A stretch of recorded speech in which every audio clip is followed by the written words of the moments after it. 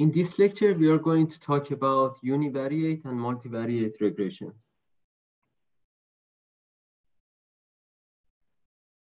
So this is part one of regressions about univariates. The goals of this part is understanding the definition and goal of univariate regression, understand what is cost function, the visual representation, seeing some analytical solutions, and finally, seeing an example for univariate regression. All right, before uh, talking about univariate regression, let's just have uh, a simple definition of linear regression. Linear regression is a linear approach for modeling the relationship between a scalar response and some variables. We model this relation uh, using a linear prediction function. This is the function that you can see here. So in this function, theta sub 0 and theta sub 1 are called the model parameters. And x values are the input data. So the model parameters are unknown and the goal of doing this univariate regression is to determine what are the values for these parameters.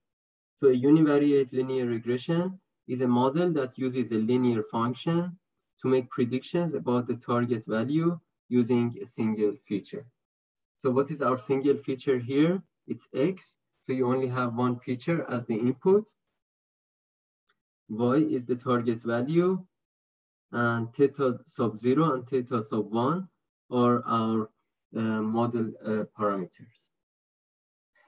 Note that X could be a vector, but still this is called a linear regression x called the vector of features or data, theta is the weights, slope, or the model parameters, and b is the intercept.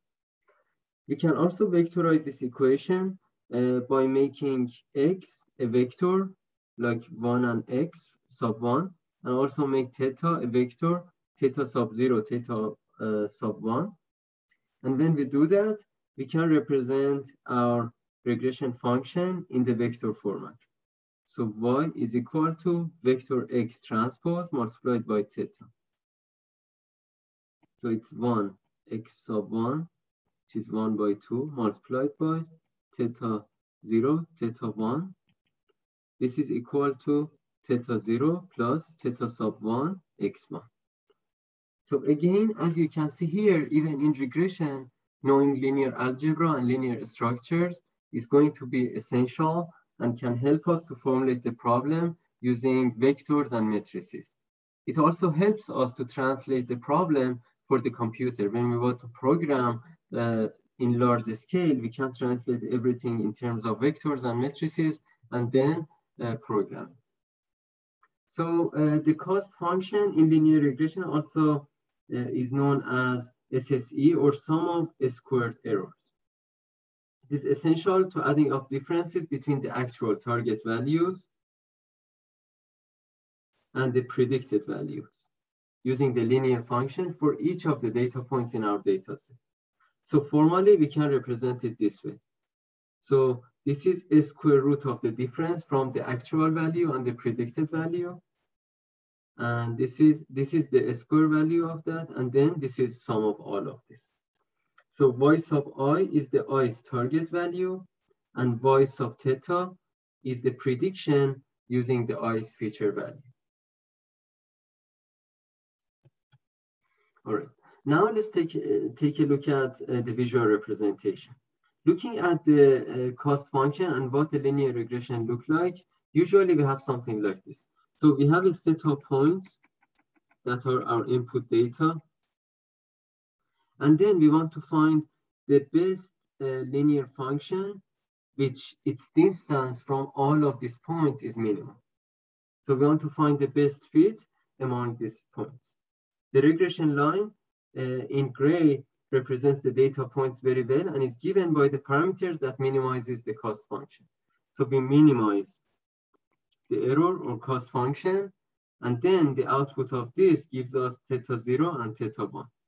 So theta 0 and theta 1 are going to give us this regression function. Theta 0 is here, and theta 1 is the slope for this line. Geometrically speaking, the cos is also known as the error and simply uh, through the symmetric sum of uh, the distances between each point and the gray line. So this is going to be the difference between as the, as the sum of distances between each point and the gray line. So if I want to show this point like this, so let's call this D1, D sub 2, D sub 3, D sub 4. So what we did, we tried to minimize sum of the i's. So this line is the line that minimizes the distance to all of this given data points. All right. So solving the parameter that minimizes that error function or SSE uh, can be done in one of these two ways. One, we can use optimization by taking the derivatives with respect to each parameter, set these derivatives to zero, and solve the parameter values that minimizes the error. If we do that, we are going to have this closed form solution. So you are given the values for x and y. And what you need to do simply, first you find the value for theta 1 and then you find the value for theta sub zero based on the value of theta one, as well as x and y. As you can see here, x hat is the average of feature column and y hat is the average of the target column. When we get to the example, you're going to see uh, to have a better sense of what do we mean by the average of feature column or the average of the target column. We also can vectorize the problem and use the analytical solution uh, that is given by the multivariate method. This can be only done uh, if the intercept parameter is a desired parameter. If not, then uh, we have to go through method one. So at this point, we are going to use the first method to solve one example. This is the example that we have here. So our input data is x, 2, 3, and 6. And our target values are 1, 4, and 7. So using the equation that we just introduced in the previous slide, uh, first we are going to find theta 1.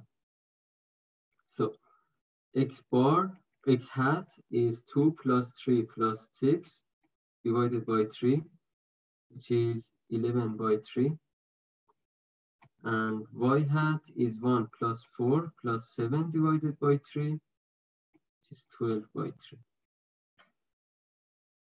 All right, now that we have these two values, we have to find this sigma. Let me do it here. So it's going to be, let's call this x1, x2, x3 y sub 1, y sub 2, y sub 3. So it's going to be theta 1 is x1 minus x hat multiplied by y1 minus y hat. Plus x2 minus x hat multiplied by y2 minus y hat. Plus x3 minus x hat multiplied by y3 minus y. And then we divide it by sigma i from 1 to n. So x1 minus x hat square plus x2 minus x hat square plus x3 minus x hat square.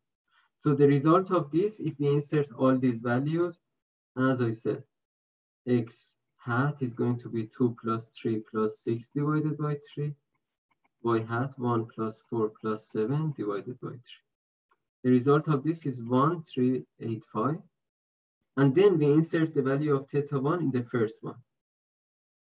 So theta sub 0 is y hat minus, this is 11 by 3, 12 by 3, or 4, minus theta 1 x hat. So y hat is 4 minus theta 1 multiplied by x uh, hat, which is 11 by 3, is 4 minus 1.385 multiplied by 11 by 3, which is minus 1077. So we have theta 0, theta 1, y is equal to theta 0 plus theta sub 1 x. So y is equal to minus 1.77 plus theta 1 1.385 x.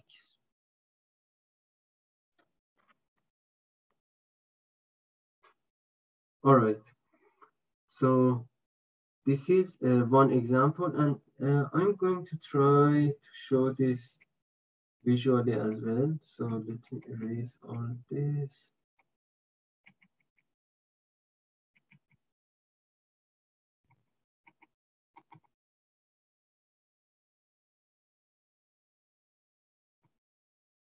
All right. So let us show the points x and y. All right, so we are going to have x, y,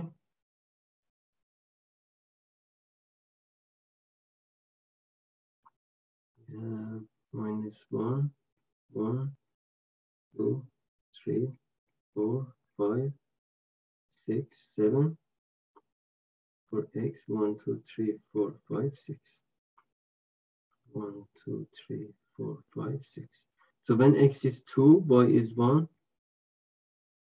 When x is 3, y is 4. And when x is 6, y is 7. All right, we want to find the linear regression. So if you want to draw this function, y is equal to minus 1.77 plus 1.385 x. If x is 0, y is somewhere here. If x is 2, x is 2, then y is about, uh, so 2.7, 2.8 minus 1 is 1.8. So if x is 2, y is somewhere here. And if x is 3, then we are going to have 3 and 1.2, 4.2, 3.2. Y is about 3.2. So 3, 3.2 somewhere here. And they, x is 6, then y is 62.4, 8.4, 7.4. 7.4 is somewhere here. So this is going to be our line, our regression line.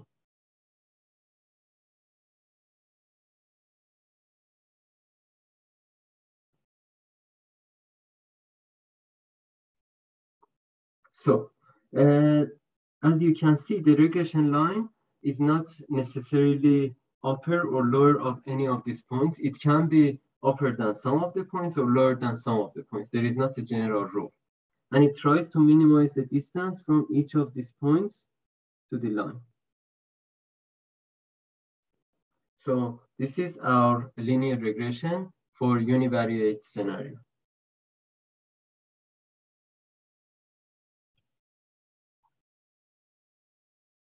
So in this lecture, in part one of this lecture, we talked about univariate regression.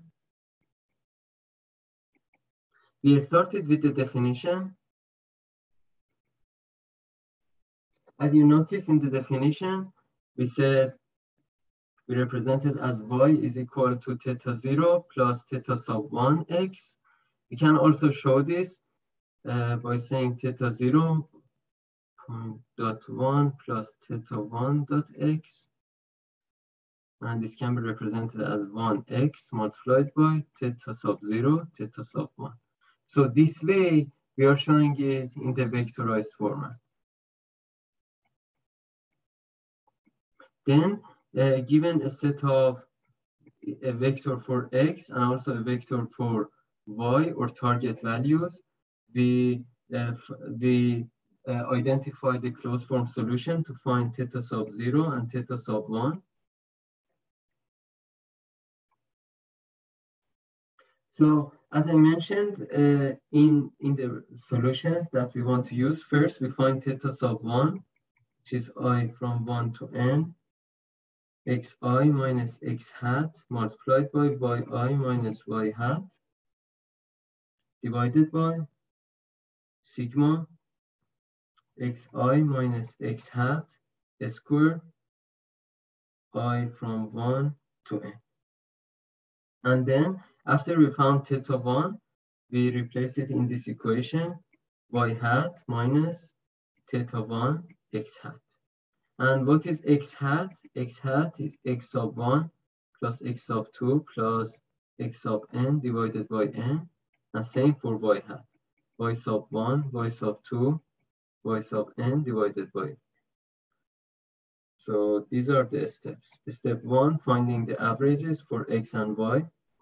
Step 2, finding theta sub 1. Step 3, finding theta sub 0. This is the closed form solution for the univariate regression.